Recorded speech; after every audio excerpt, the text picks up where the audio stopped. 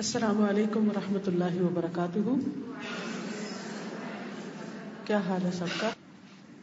الحمد للہ نحمد ونسلی علی رسول کریم اما بعد، فاعوذ باللہ من الشیطان الرجیم۔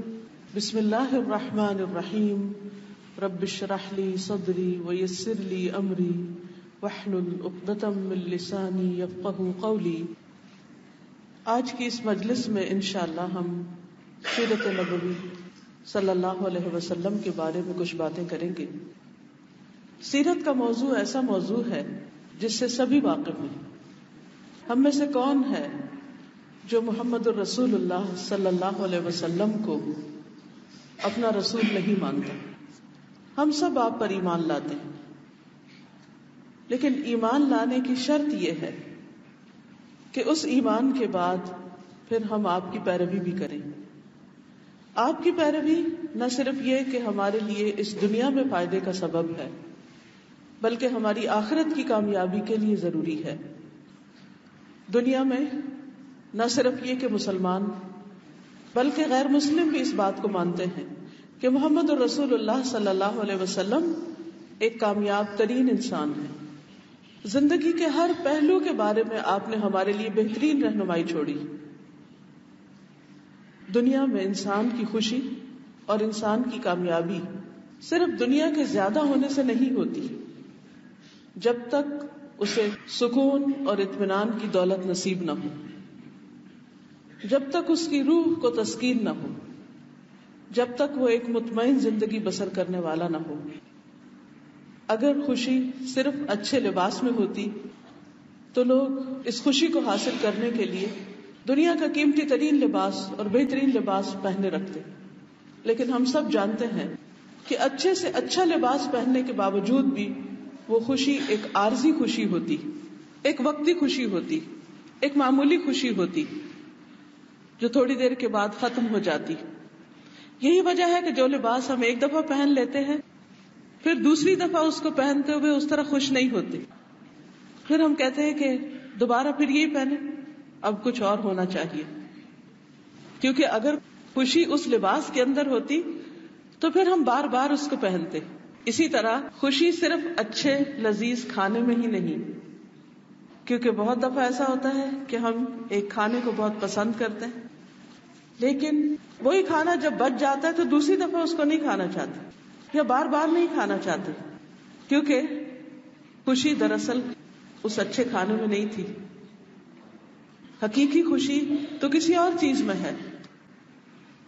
وہ خوشی صحابہ کرام کو نصیب تھی، جو رسول اللہ صلی اللہ علیہ وسلم کے آس پاس رہتے تھے۔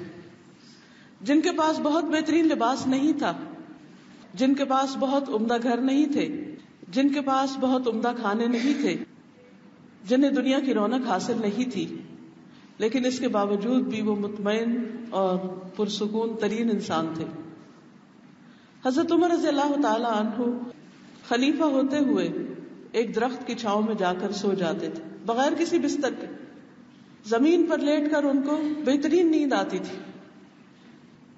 اور وہ پرسکون تھے۔ ان کے اندر کچھ کرنے کا جذبہ تھا۔ اس زندگی کی قیمت کو جانتے تھے۔ اور اسے بہترین سے بہترین طریقے سے گزارنا چاہتے تھے۔ نہ صرف یہ کہ چاہتے تھے، بلکہ جانتے بھی تھے۔ کہ بہترین زندگی کس کو کہا جاتا ہے؟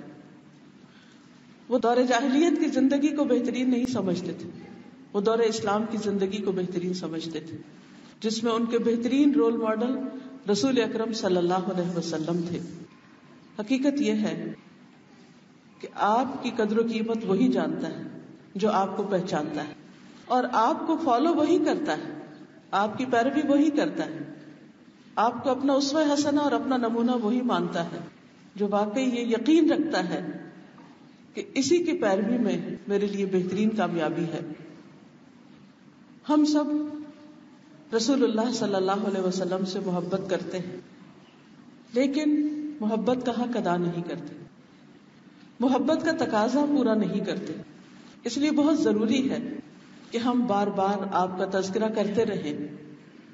آپ کی عادات، آپ کے اخلاق، آپ کے معاملات، آپ کے معمولات، اس کا ذکر کرتے رہیں اور ان میں سے ایک ایک موتی چنتے رہے اور اپنے اوپر ٹانکتے رہے تاکہ ایک دن ہمیں بھی وہ خوشی اور وہ سکون اور وہ راحت نصیب ہو جو صحابہ کرام کو نصیب ہوئی تھی، جو ان کے پیروکاروں کو نصیب ہوئی تھی۔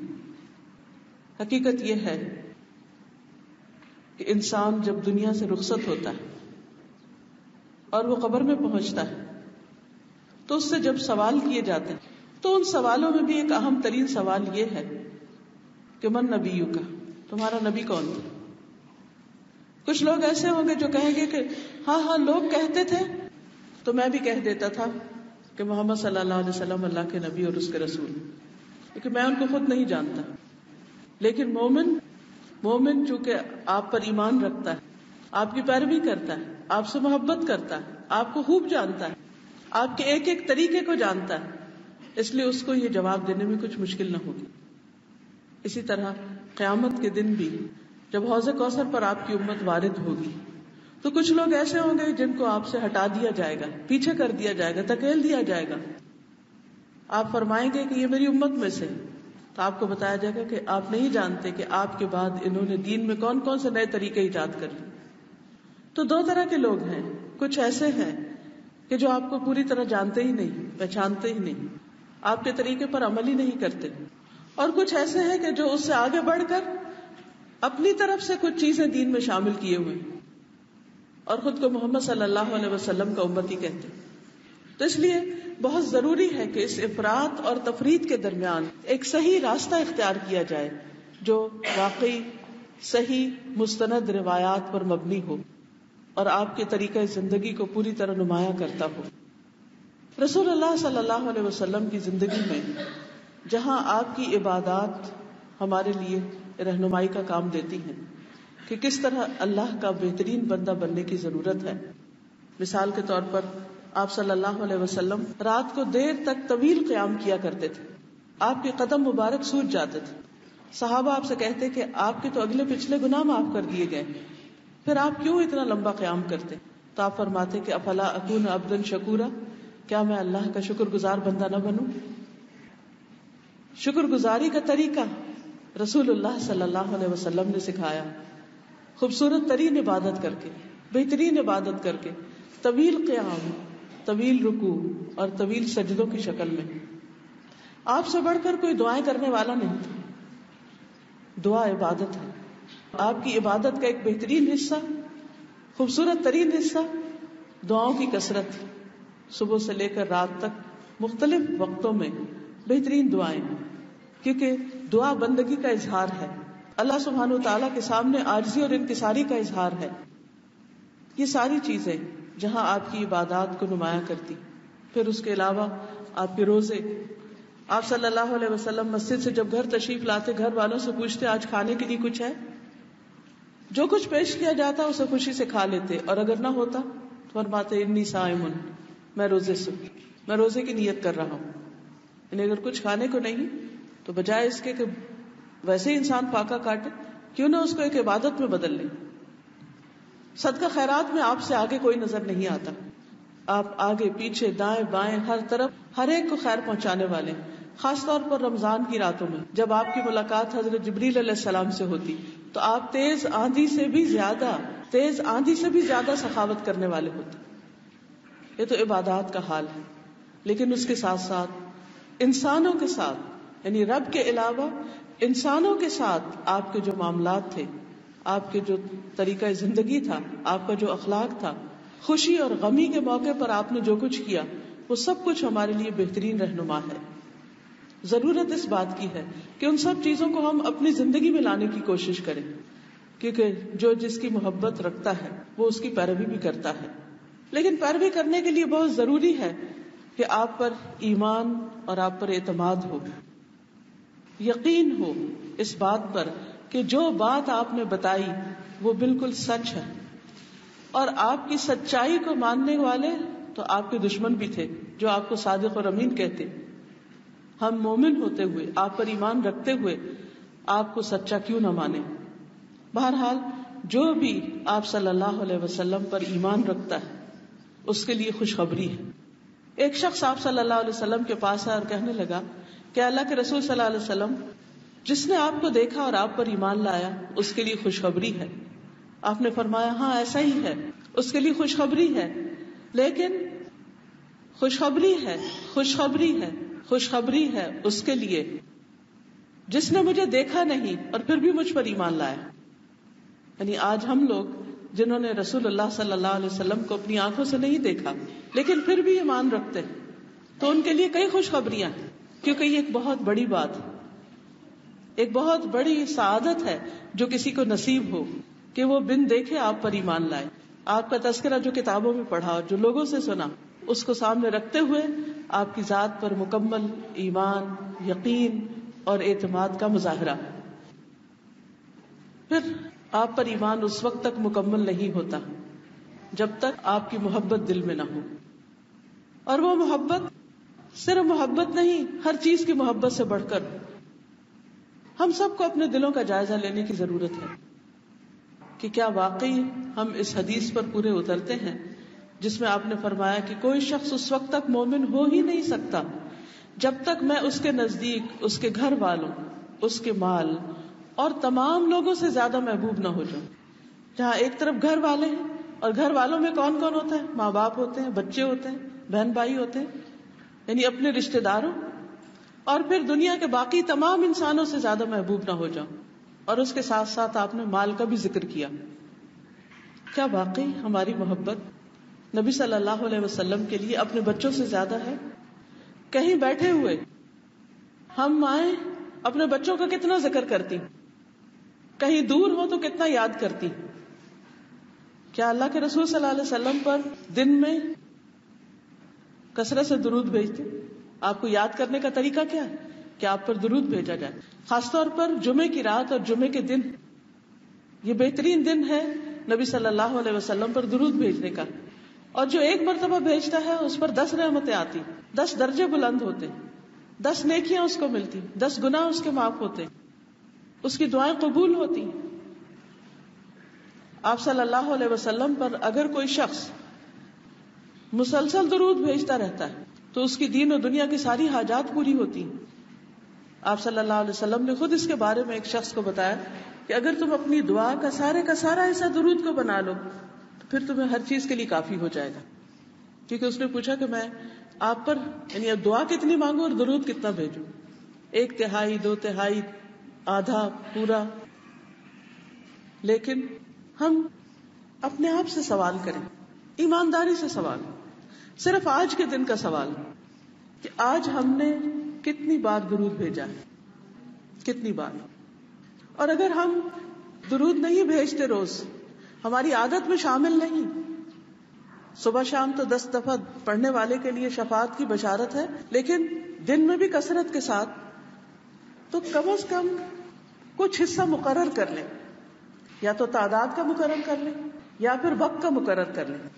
اور اس کو ہاتھ سے جانے نہ دیں۔ دنیا ادھر سے ادھر ہو جائے۔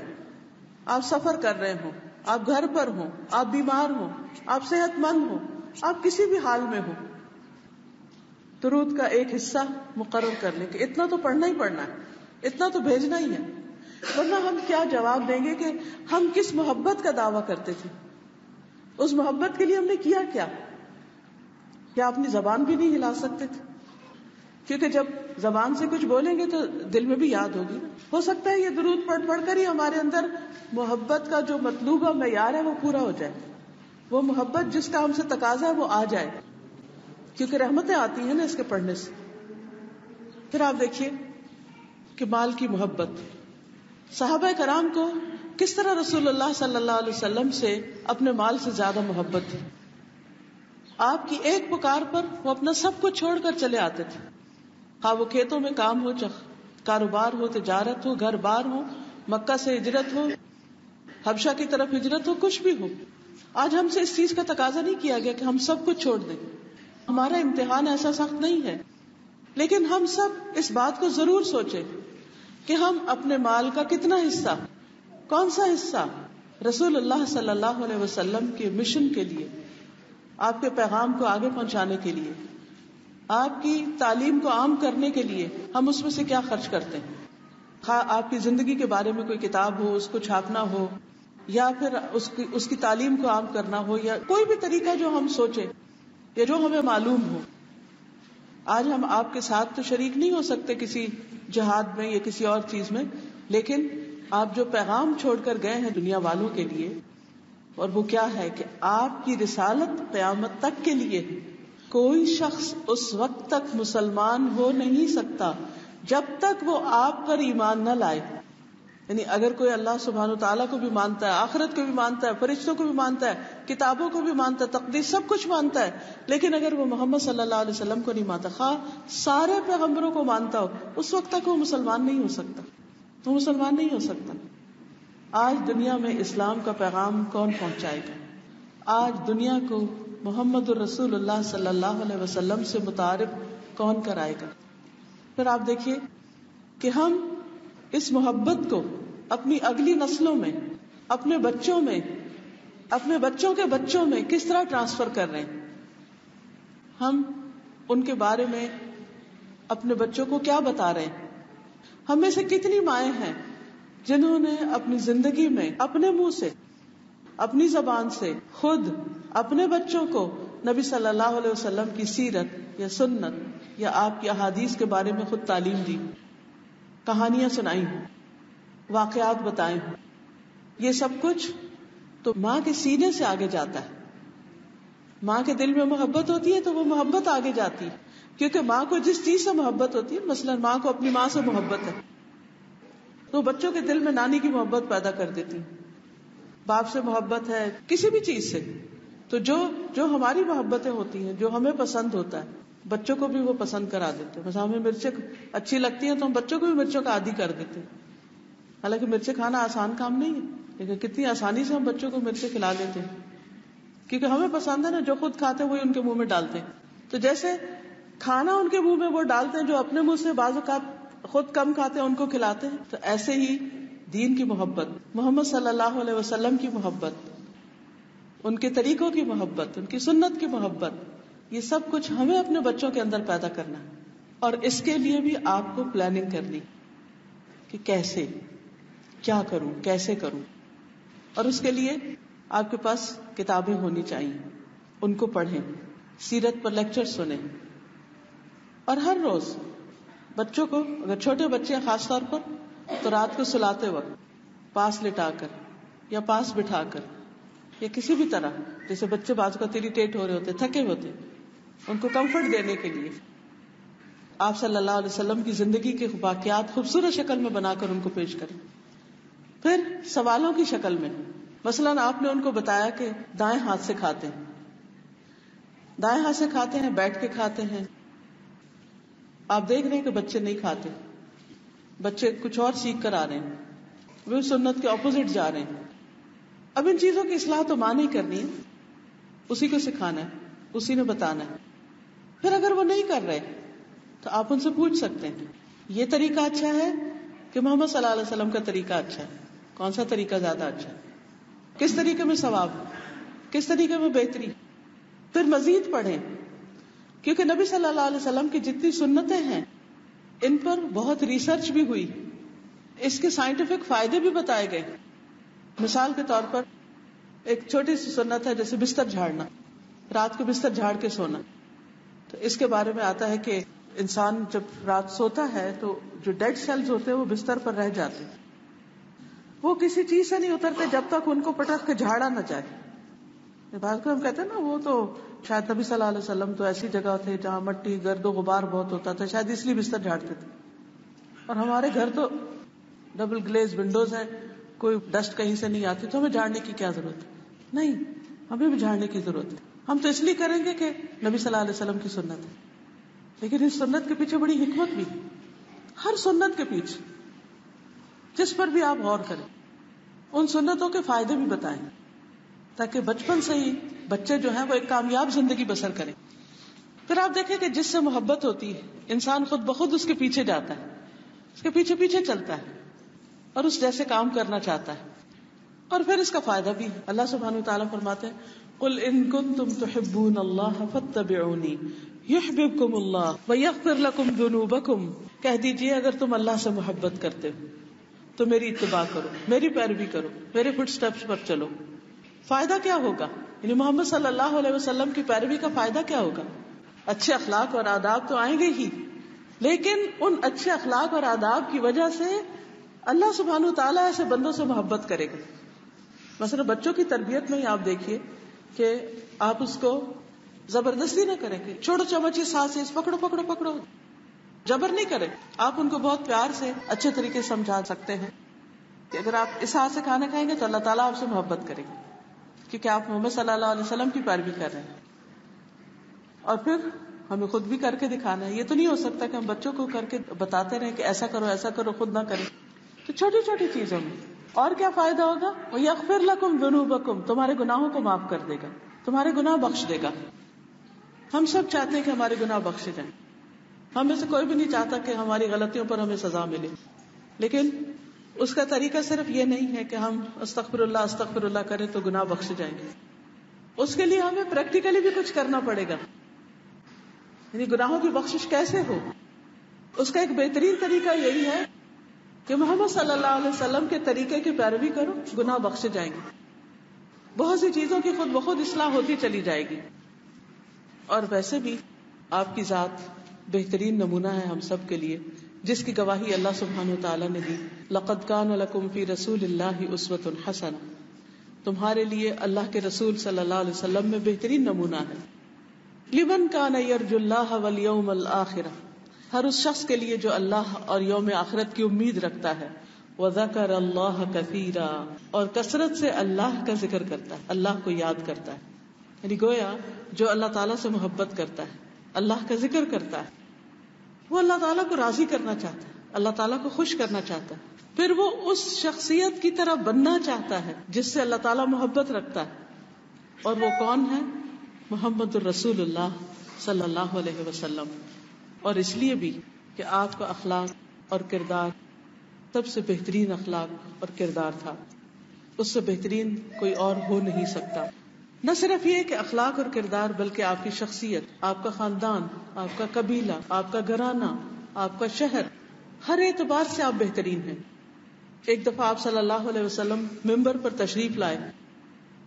تو آپ نے فرمایا، میں محمد بن عبد اللہ بن عبد المطلب ہوں۔ اللہ نے مخلوقات کو پیدا کیا اور مجھے ان میں سے سب سے بہتر مخلوق میں رکھا۔ پھر مخلوق کو دو گروہوں میں تقسیم کیا، تو مجھے ان میں سے بہترین گروہ میں رکھا۔ پھر اللہ نے قبائل کو پیدا کیا، تو مجھے ان میں سے بہترین قبیلے میں رکھا۔ پھر اللہ نے گھر بنائے یعنی خاندان بنائے، تو اللہ تعالیٰ نے مجھے ان میں سے سب سے بہترین گھرانے میں رکھا۔ اس لیے میں رہائش کے اعتبار سے بھی تم میں سب سے بہترین ہوں، ذات کے اعتبار سے بھی بہترین ہوں۔ یعنی ہر اعتبار سے آپ صلی اللہ علیہ وسلم سب سے بہترین ہے آپ کا اخلاق اس لحاظ سے بھی بہترین ہے کہ آپ کا اخلاق قرآن تھا۔ یعنی قرآن مجید میں جو احکامات نازل کیے گئے، وہ آپ صلی اللہ علیہ وسلم کی زندگی میں بہترین طریقے سے ہمیں نظر آتے ہیں۔ یعنی آپ نے جو بھی تعلیم دی، اس پر عمل کر کے دکھایا۔ یعنی آپ نے صرف قرآن پڑھایا نہیں، صرف سکھایا نہیں، بلکہ آپ خود اس کا عملی نمونہ تھے۔ یہ دو چیزیں الگ الگ نہیں تھی۔ ایسا نہیں تھا کہ تعلیم الگ ہو اور آپ کی شخصیت اور کردار الگ ہو۔ اور ان دونوں میں کنٹرڈکشن نہیں۔ آپ جو کہتے تھے، وہ کرتے تھے۔ اسی لیے آپ کا اخلاق بہترین اور آپ کا کردار بہترین تھا۔ آپ کے اچھے اخلاق اور اچھے کردار کی خوبیاں پچھلی کتابوں میں بھی ملتی تو رات میں آپ صلی اللہ علیہ وسلم کے بارے میں جو آیات ملتی ہیں، اس میں آتا ہے، اللہ تعالیٰ فرماتے ہیں کہ آپ میرے بندے اور میرے رسول ہیں۔ میں نے آپ کا نام متوکل رکھا ہے۔ نہ بدخو ہے نہ سخت دل، نہ بازاروں میں شور کرنے والے، نہ برائی کا بدلہ برائی سے دینے والے، بلکہ معاف کر دینے والے، درگزر کرنے والے۔ اس میں آپ دیکھیے کہ خاص طور پر جو اچھے اخلاق کی خوبی بتائی گئی، وہ کیا کہ آپ بدخو نہیں، بد کلام نہیں، دوسروں کی خیر خواہی کرنے والے، سخت دل نہیں، نرمی برتنے والے۔ بازاروں میں شور کرنے والے نہیں۔ یہ کتنی بڑی خوبی کیونکہ انسان جب ایسی جگہوں پہ شور کرتا ہے، تو وہ سب کے لیے تکلیف اور اذیت کا باعث بنتا ہے۔ پھر اسی طرح عبداللہ بن عمر بن العاص کہتے ہیں کہ نبی صلی اللہ علیہ وسلم بےحدہ گوئی نہیں کرتے تھے یعنی فضول باتیں نہیں کرتے تھے۔ خواہ مخواہ کی چٹ چیٹ نہیں کرتے تھے۔ بیکار کی باتیں نہیں کرتے تھے۔ اور بتکلف باتیں نہیں کرتے کیونکہ بعض اوقات ہم گفتگو کے اندر ایک تصنع پیدا کر دیتے ہیں۔ آرٹیفیشل قسم کی گفتگو کرنے لگتے ہیں۔ آپ کسی سے محبت کا اظہار کریں تو دل سے کریں۔ کسی کی ہمدردی کریں تو دل سے کریں۔ صرف زبانی کلامی نہیں۔ یعنی جو کہیں وہ آپ کے اپنے اندر محسوس بھی ہو۔ کیونکہ افسوس کے ساتھ یہ کہنا پڑتا ہے کہ دن ب دن یہ تکلم اور تسن اور دکھاوا یہ بڑھتا چلا جا رہا ہے۔ جو دل میں ہوتا ہے وہ زبان پہ نہیں ہوتا۔ دل میں کچھ اور ہے، زبان سے کچھ اور ہے، سامنے کچھ اور ہے، پیچھے کچھ اور ہے۔ یہ خوش اخلاقی نہیں ہے۔ اللہ سبحانہ تعالیٰ کے ہاں یہ اخلاق قابل قبول نہیں ہے۔ آپ فرمایا کرتے تھے، تم میں سب سے بہترین لوگ وہ ہیں جن کے اخلاق سب سے اچھے۔ پھر آپ کی اخلاقی خوبیوں میں سے یہ خوبی بتائی گی کہ آپ کم گو تھے بہت باتونی نہیں تھے، بہت زیادہ باتیں نہیں کرتے تھے۔ شور بھی نہیں کرتے تھے اور بہت بولتے بھی نہیں تھے۔ گفتگو میں ٹھہراؤ تھا۔ آہستہ آہستہ بات کرتے تھے۔ ایسی آہستہ بھی نہیں کہ دوسرا انتظار ہی کرتا رہ جائے۔ اور اتنی تیز بھی نہیں کہ دوسرے کو سمجھ ہی نہ آئے۔ ایسے مناسب انداز سے کہ دوسرے کو سمجھنے میں مشکل نہ ہو۔ پھر اسی طرح گفتگو خشک نہیں ہوتی تھی۔ مزاح بھی کرتے تھے۔ لیکن مزاح میں حق بات کہتے تھے۔ کبھی جھوٹ نہیں بولا۔ کبھی خلاف حقیقت بات نہیں کی۔ پھر اسی طرح آپ کے اندر حیا تھا۔ کیونکہ جس شخص کے اندر حیا ہوتا ہے، وہ دوسروں کے ساتھ بدتمیزی نہیں کرتا، بد اخلاقی نہیں کرتا، بدگوئی نہیں کرتا، بلا وجہ موڈ آف نہیں کر لیتا، منہ پھیر کے بات نہیں کرتا، کیونکہ یہ ساری چیزیں بد اخلاقی میں شامل ہو جاتی اب آپ دیکھ لیجیے، نہ چیختے چلاتے، نہ فضول گوئی کرتے، نہ جھوٹ بولتے، نہ بازاروں میں شور کرتے، اور نہ بہت باتونی شرم و حیا ایسی کہ جس کے بارے میں آتا ہے کہ جب آپ کو کوئی چیز ناگوار ہوتی تو ہم آپ کے چہرے سے بس پہچان لیتے اس سے آگے نہیں زبان سے آپ کریٹیسم نہیں شروع کر دیتے تھے تنقیدیں نہیں شروع کر دیتے تھے کھانا ہوتا یا کسی کا کوئی عمل ہوتا تو اسے جھگڑا نہیں شروع کر دیتے تھے آپ کے چہرے سے پہچان لیا جاتا کہ آپ کو بات اچھی نہیں لگی آپ کو کھانا پسند نہیں آیا۔ آپ کو کسی شخص کا رویہ پسند نہیں آیا۔ اور یہ اتنی بڑی چیز ہوتی تھی، اتنا بڑا معیار ہوتا تھا کہ صحابہ آپ کو دیکھ کر سمجھ جاتے تھے کہ یہ آپ کی مجلس میں جو کام ہوا ہے وہ کیسا ہے، وہ پسندیدہ ہے یا نہیں۔ اس کے ساتھ ساتھ بہت زیادہ مسکرانے والے بھی تھے۔ ایک صحابی کہتے ہیں کہ جب سے میں اسلام لایا ہوں، کبھی ایسا نہیں ہوا کہ میں نے آپ کو دیکھا ہو اور آپ مسکرائے نہ ہو جب بھی میں نے آپ کو دیکھا، مسکراتے ہوئے پایا۔ کیا ہمارے بچے، ہمارے گھر والے، ہمارے دوست ہمارے بارے میں یہ گواہی دیں گے؟ کیا واقعی ہم سنت کی پیروی کرنے والے کیا واقعی ہمارا اخلاق اچھا ہے؟ کیونکہ آپ صلی اللہ علیہ وسلم نے فرمایا کہ تم میں سب سے اچھا اخلاق اس کا ہے جو اپنے گھر والوں کے لیے اچھا ہے۔ کیونکہ لوگوں سے جب ملتا ہے انسان تو ان سے تو اچھا بن ہی جاتا ہے۔ ان کے ساتھ تو اچھا بننا پڑتا ہے، کیونکہ اگر آپ اچھے نہیں ہوگے تو لوگ آپ کو چھوڑ دیں گے۔ آپ سے بھاگ جائیں گے، آپ سے ملنا نہیں چاہیں گے۔ رسول اللہ صلی اللہ علیہ وسلم کی زوجہ حضرت عائشہ رضی اللہ تعالی عنہ سے روایت ہے کہ میں نے رسول اللہ صلی اللہ علیہ وسلم کو کبھی اس طرح ہنستے ہوئے نہیں دیکھا کہ آپ کے حلق کا کبا نظر آ جائے، بلکہ آپ کثرت سے مسکرایا کرتے تھے۔ پھر اسی طرح انتہا درجے کی آجزی اور ان کی ساری تھی۔ زمین پر بیٹھ کر کھا لیا کرتے تھے۔ غلام کی دعوت قبول کر لیا کرتے تھے۔ آپ کو جو کی روٹی اور خراب چربی کے سالن پر بھی دعوت دی جاتی تو آپ اس کا بھی انکار نہیں کرتے تھے، دل رکھتے تھے۔ پھر اسی طرح بیواؤں، مسکینوں، یتیموں، غریبوں کے ساتھ اٹھتے بیٹھتے تھے۔ اور اس میں کوئی شرم محسوس نہیں کرتے تھے۔ آج آپ دیکھیے کہ اگر کوئی رشتے دار غریب ہو تو لوگ اس کو رشتے دار ماننے کو تیار نہیں ہوتے۔ تو آؤٹ کاسٹ کر دیتے۔ پبلک میں اس کے ساتھ بات نہیں کرتے کہ کسی کو پتا نہ چلے کہ یہ اس کی ماں ہے یا اس کا کوئی رشتہ ہے اس کے ساتھ۔ لیکن نبی صلی اللہ علیہ وسلم غریبوں کے ساتھ اٹھنا بیٹھنا پسند کرتے تھے۔ گدے پر سوار ہو جاتے اس زمانے میں بھی گھوڑے کی سواری ایک پرسٹیجیس سواری ہوتی۔ لیکن معمولی سواری بھی کر لیتے۔ اپنا جوتا سلائی کر لیتے۔ کمیز کو خود پیون لگا لیتے۔ اور آپ فرماتے، جس نے میری سنت سے اراض کیا، وہ مجھ سے نہیں۔ آپ تو ایک مرد تھے۔ کیا ہم خواتین بھی آج یہ کام کرتی یا یہ کام کرنے آتے کہ اگر بٹن ٹوٹ جائے تو لگا لے، اگر کپڑا کہیں سے ادھر جائے تو سی لے۔ بہت سے لوگوں کا طریقہ ہی ہے ادھر جائے، کٹ لگ جائے، کچھ ہو جائے، بس اٹھا کے پھینکتے جاؤ پھینکتے جاؤ، اب یہ نہیں پہننا، اب یہ نہیں پہننا۔ اب دیکھیے کہ آج ہم مائیں ہوتے ہوئے ہم میں سے کتنی ماؤں نے اپنے بچوں کو یہ کام سکھایا یا اگر کام نہیں سکھایا تو کم از کم اس کی عظمت ان کے دل میں ڈالی کہ یہ معمولی کام نہیں ہے۔ اپنا کام کرنا کوئی بری بات نہیں ہے۔ کوئی عیب نہیں ہے۔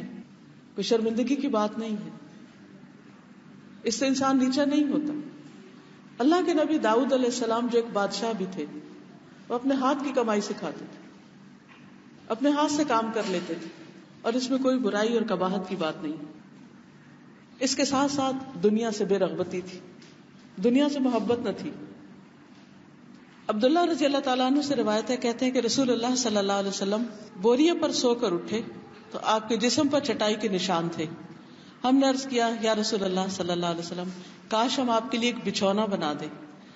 آپ نے فرمایا، مجھے دنیا سے کیا کام؟ میں تو دنیا میں اس طرح ہوں کہ جیسے کوئی سوار کسی درخت کے نیچے سائے کی وجہ سے بیٹھ گیا، پھر وہاں سے روانہ ہو گیا اور درخت کو چھوڑ دیا۔ حقیقت یہ ہے کہ اس درخت کو ہم سب نے چھوڑنا ہے، چاہے کسی بھی چیز پر بیٹھ جائیں۔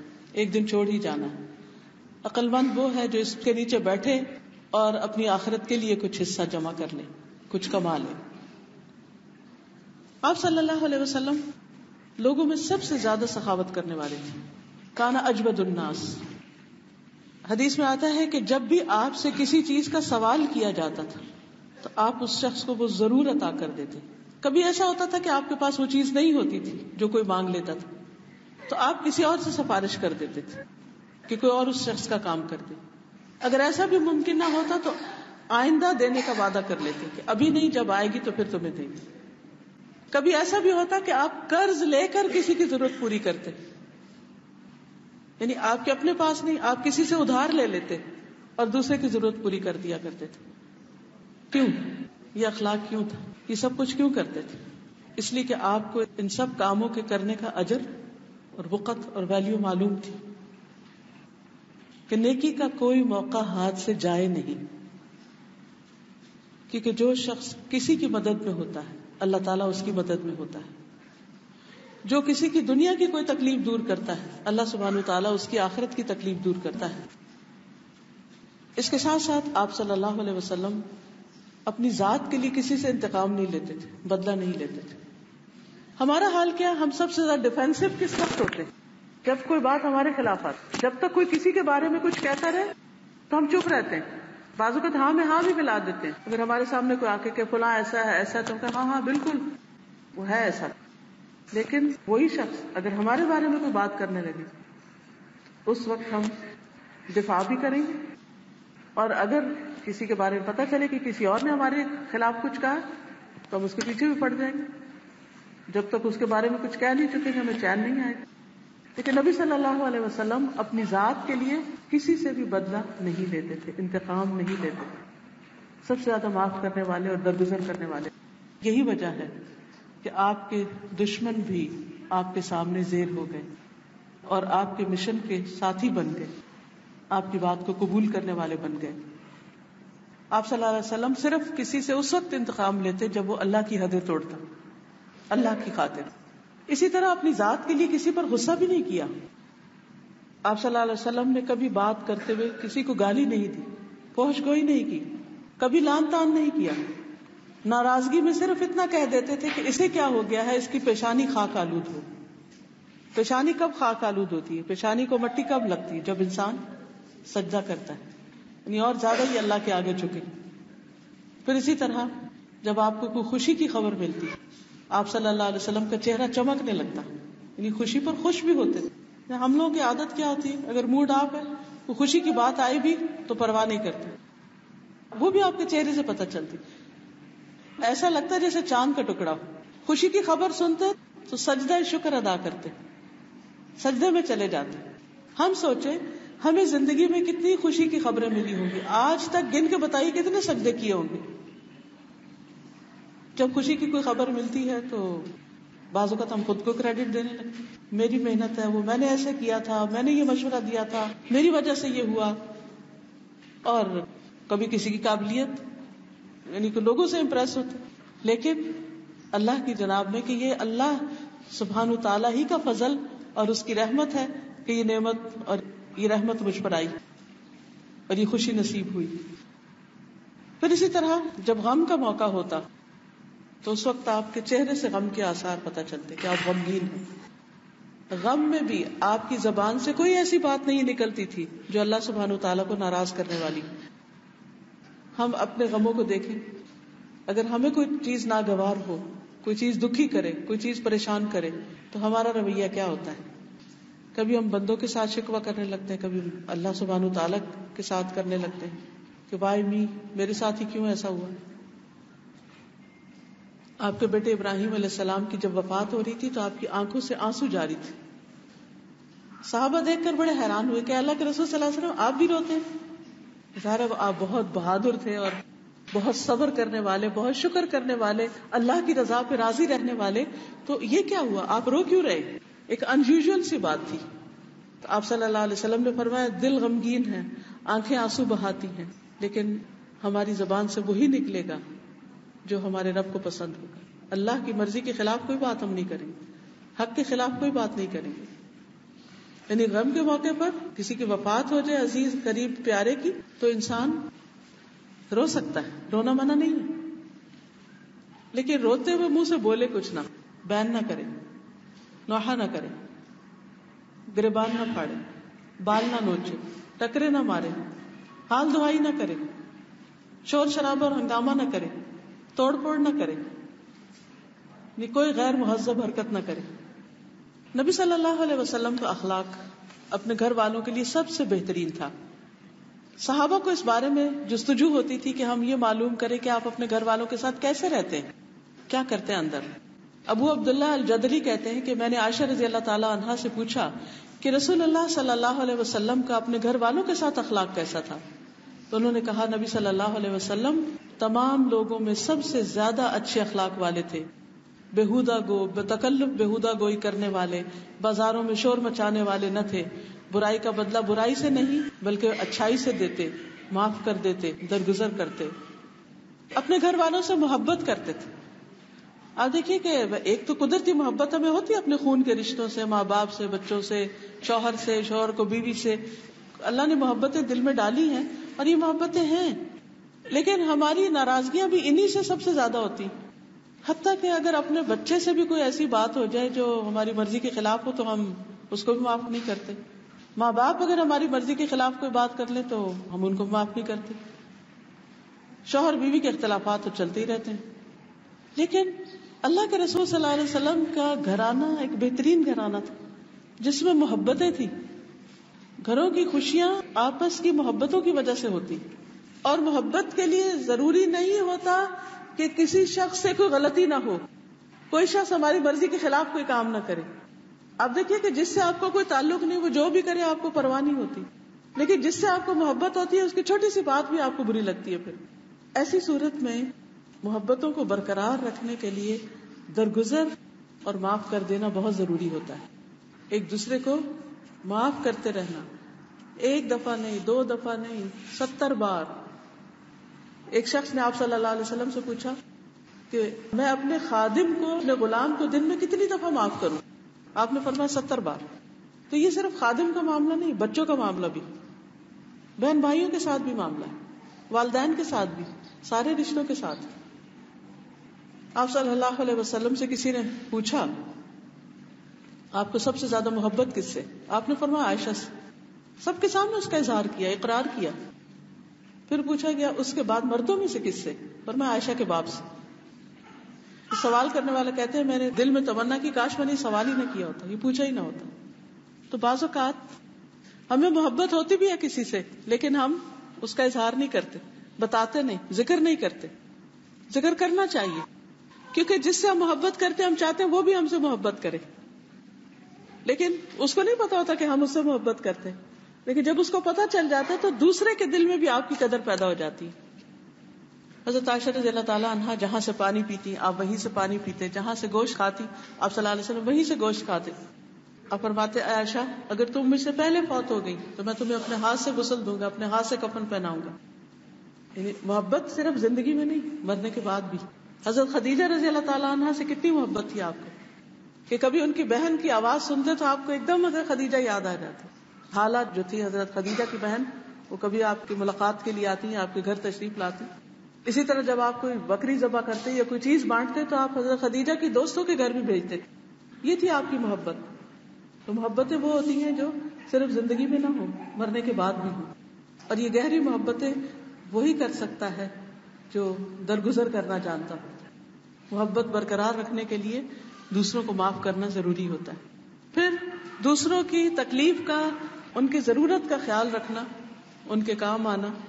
حضرت عائشہ کہتی ہے کسی نے مجھ سے سوال پوچھا کہ رسول اللہ صلی اللہ علیہ وسلم گھر میں کیا کرتے تھے؟ تو کہتی ہے میں نے کہا کہ عام انسانوں کی طرح انسان تھے، اپنے کپڑے صاف کر لیتے